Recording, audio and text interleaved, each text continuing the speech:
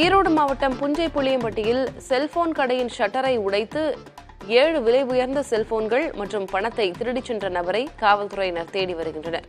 கவின் என்பவருக்கு சொந்தமான கடையில் அடையாளம் தெரியாத நபர் கொள்ளையடிக்கும் காட்சிகள் அங்கிருந்து சிசிடிவி கேமராவில் பதிவாகியுள்ளது. கடந்த வாரம் இதே பகுதியில் ஒரே இரவில் ஆறு வீடுகளில் பூட்டை உடைத்து கொள்ளையடிக்கப்பட்டது குறிப்பிடத்தக்கது.